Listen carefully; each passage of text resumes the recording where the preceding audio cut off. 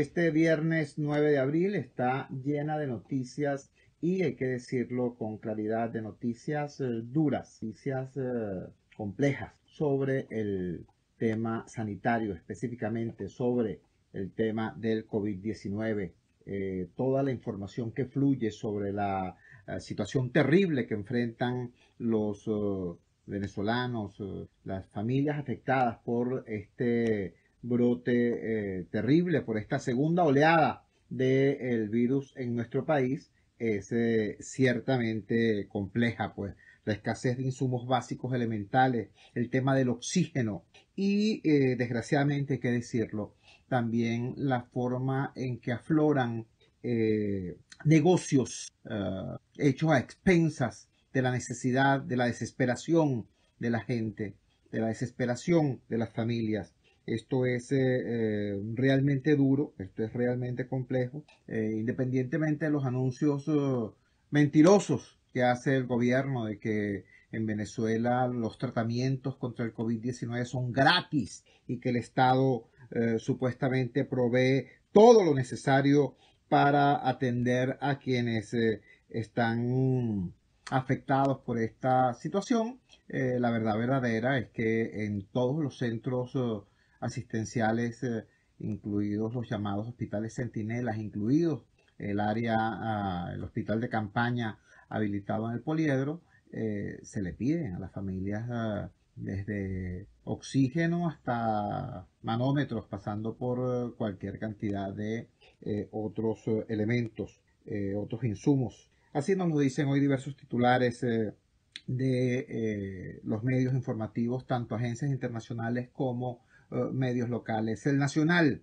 nos dice, Caracas es la entidad con mayor número de casos de COVID-19, mientras el país reportó 1.184 contagios. Por supuesto, estamos hablando de las estíticas cifras que dan los reportes oficiales. Tal cual, digital, dice, industriales solicitaron a Maduro atender con urgencia plan de vacunación de Fede Cámaras. Esta es otra de las situaciones insólitas. El régimen, a través de eh, la Asamblea Nacional electa de esta discutida manera en diciembre del 2020, pide interlocución con los sectores eh, eh, privados, con los sectores empresariales del país, eh, los sectores empresariales en una actitud que por cierto es encomiable, pese a todas las razones, a las múltiples razones que puede haber para la desconfianza, para la ojeriza. Sin embargo, dicen, ah, ustedes quieren hablar, vengan y hablen, pues, vengan, vamos a conversar.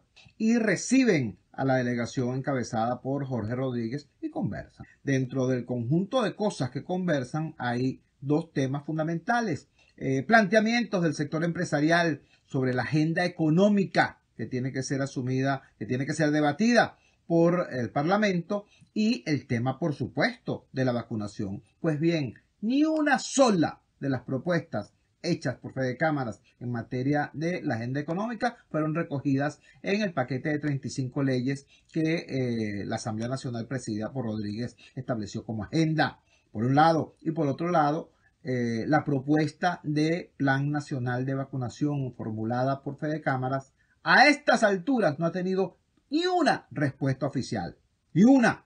Eso nos da una idea pues de cuán poco, poco seria es eh, la conducta del régimen en esta ah, materia. El diario tal cual digital nos dice, el chavismo se vacuna contra el sentido común al producir la Abdala cubana. La Abdala es, eh, no es ni siquiera una vacuna, es una candidata a vacuna, es un proyecto del gobierno cubano. Yo en este momento no me voy a poner a decir que es buena, que es mala, que es regular, que es no sé qué cosa. Eso no tiene ningún sentido. Recordemos, eh, no tiene sentido hacer juicios políticos ni ideológicos sobre este tipo de situaciones. Recordemos eh, eh, lo que pasó con la vacuna rusa. Mucha gente empezó a decir que la vacuna era mala porque era rusa, hasta que llegó la Sociedad Científica Internacional y publicaciones indexadas y arbitradas calificaron como segura la vacuna rusa. Yo no me voy a poner a decir que el proyecto Abdala sea bueno, malo o regular, porque sencillamente yo no soy experto en la materia, ni tengo los elementos en la mano que me permitan afirmar una cosa o la otra. Lo que sí puedo decir es que no hay tiempo para esperar a que cuaje el segundo, tercero, cuarto intento de candidato a vacuna por parte de Cuba o de cualquier otro país. Ya hay en el mercado, ya hay en el mundo varias vacunas perfectamente probadas y que han sido administradas a millones de personas en el planeta. Ya hay países latinoamericanos, Chile, Costa Rica, México, Argentina, que tienen avanzados sus programas de vacunación.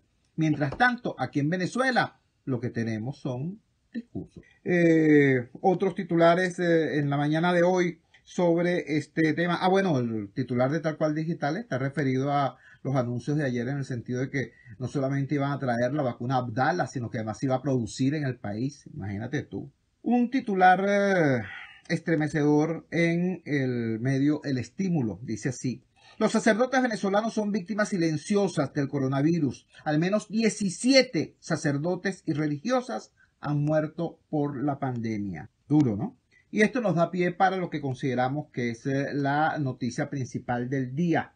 La noticia principal del día es eh, precisamente el comunicado emitido por la presidencia de la Conferencia Episcopal Venezolana sobre el tema del coronavirus, sobre el tema de la ah, vacuna, del plan, del necesario plan de vacuna ah, a nivel nacional, plan de vacunación. Comparto con ustedes este contenido porque, repito, es eh, eh, extremadamente importante. Dice así, hemos celebrado la Semana Santa en medio del dolor de la pandemia. Amigos familiares, conocidos y hasta algunos médicos, enfermeras y trabajadores del sector sanitario están enfermos. A ellos vaya nuestra oración y nuestra palabra de consuelo y de ánimo en esta hora de cruz. Es importante que tengan una actitud positiva, no pierdan la fe y aférrense a la oración por su salud. Necesitamos la bendición de Dios, pero necesitamos también buscar caminos de entendimiento social y político para que lleguen las vacunas para toda la población sin distinción de credo religioso, condición social o ideología política.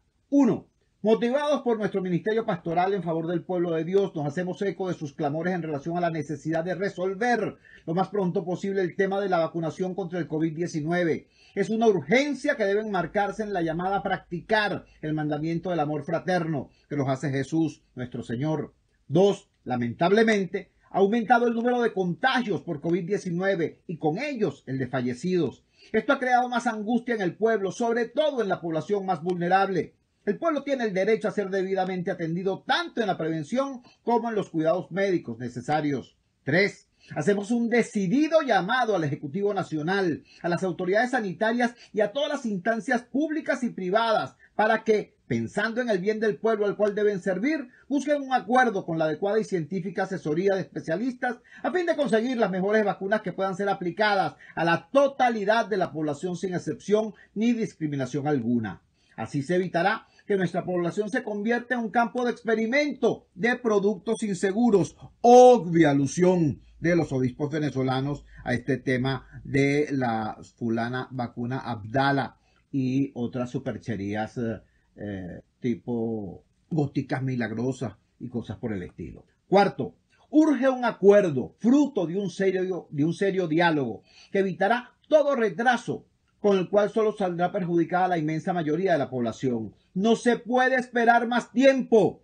Lo humano está por encima de las diatribas políticas, pues la vida de cada persona es digna y sagrada. Quinto, asimismo, pedimos a las naciones del mundo y a los organismos multilaterales que tienen que ver con la distribución de dicha vacuna, dar los pasos ciertos para colaborar con nuestro pueblo al permitir el envío de dichas vacunas sin que esto signifique una dura carga para nuestra nación golpeada por una grave crisis desde hace ya varios años. Sexto, Pedimos al Ejecutivo Nacional, repito, estamos eh, compartiendo el contenido del comunicado emitido ayer por la presidencia de la Conferencia Episcopal Venezolana, el organismo cúpula de los obispos de la Iglesia Católica en nuestro país. Sexto, Pedimos al Ejecutivo Nacional que convoque sin condicionamientos a todos los entes públicos y privados, sobre todo los más comprometidos con la salud y la acción social, a constituir un frente común que garantice la vacunación de toda la población sin condiciones de ningún tipo.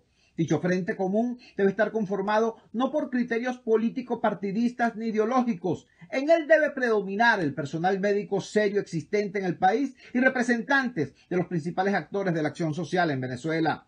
Esto incluso evitará, oigan esto, que es muy importante, esto incluso evitará abrir las puertas a personas y entes inescrupulosos que pretendan negociar, entre comillas, con la salud de la población buscando solo sus propios y mezquinos intereses. A la vez, que se comience por las personas más vulnerables o quienes tienen un oficio en el campo de la salud, médicos, enfermeras, operadores de la salud, agentes sociales de comedores populares y otros servicios. Séptimo, con la confianza de que nuestro llamado, eco de los clamores de nuestro pueblo, se ha escuchado, reiteramos también la invitación a todos a cumplir con las directrices y recomendaciones en el campo de la bioseguridad.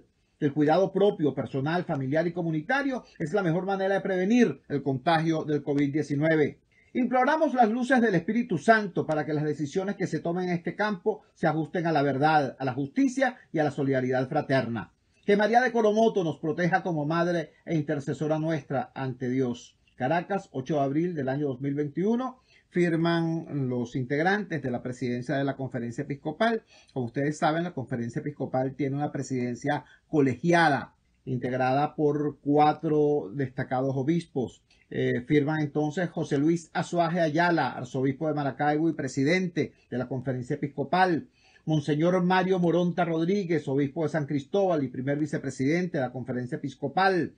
Monseñor Raúl Bior Castillo, obispo de La Guaira, segundo vicepresidente de la conferencia episcopal. Y Monseñor José Trinidad Fernández Angulo, obispo auxiliar de Caracas y secretario general de la conferencia episcopal.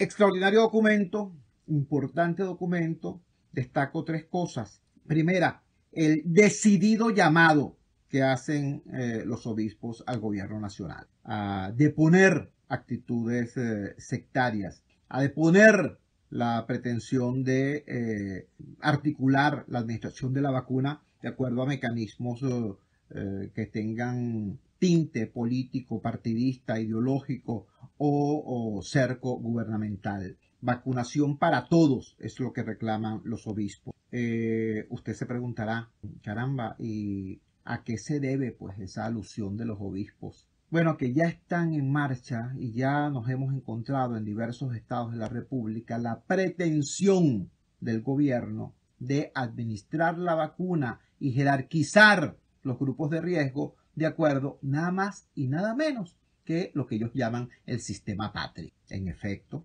en algunas entidades del país, señaladamente en el estado Mérida, eh, circula un documento oficial diciendo que de acuerdo a las estadísticas que ellos tienen en el sistema patria, han hecho un cruce de información y han determinado ellos que personas tienen las edades y las comorbilidades necesarias para ser considerados prioritarios en el proceso de vacunación. Es decir, si usted no está en el fulano sistema patria, usted sencillamente no existe a los efectos de ese proceso. Eso es extremadamente grave, extremadamente grave.